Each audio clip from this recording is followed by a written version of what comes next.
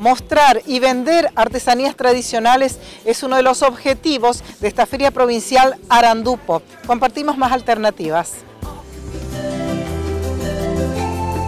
Mi nombre es Alberto Vieira eh, y trabajo con artesanía eh, eh, usando el bambú. ¿no? Hago artesanía principalmente. ¿Tacuara y bambú significan lo mismo? Sí, en realidad ambos son nombres este, vulgares, son nombres genéricos que está hablando sobre un grupo de plantas, no sobre una planta en específico. Este grupo de plantas son gramíneas, generalmente leñosas, hay herbáceas también, ¿no? pero el nombre tacuara es un nombre más que nada guaranítico que le han dado a nuestras especies nativas. Y el nombre bambú es un nombre más conocido de forma internacional con respecto a este tipo de plantas. Cuando este tipo de material llega a sus manos, ¿qué forma le da a usted? Bueno, ¿En qué se convierte? En realidad, este, cuando, cuando llegó a mis manos por primera vez ya tenía una forma, ¿no? Su forma cilíndrica, hueca. A partir de ahí me voy acomodando. Eh, pero lo primero que, salió, por supuesto, fueron vasitos.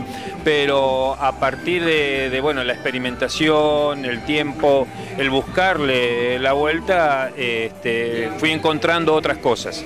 Entonces, inclusive, hasta se pueden hacer laminados realmente con, con esto. ¿Qué le pide la gente?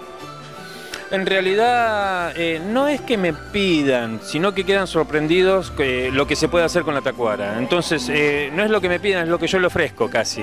en algunos casos sí, hay alguno cada tanto que me pide algo en especial. No tenés una cosa así y entonces, bueno, ahí voy o modificando el producto que, que, tengo en el cual se le ocurrió a él una idea, o bueno, viendo si con este material puedo llegar a hacer el objeto que ellos quieren. ¿Con qué herramientas trabaja? El bambú es un material leñoso, bambú o tacuara es un material leñoso, eh, por lo tanto se puede utilizar eh, cualquier herramienta eh, de carpintería básicamente. Hay ciertos trabajos donde puedes hacer alguna modificación de las herramientas o inclusive crear una herramienta propia para un determinado trabajo. Quien no, no ha venido a esta feria en Empedrado, ¿dónde lo ubica? ¿Cómo lo encuentra?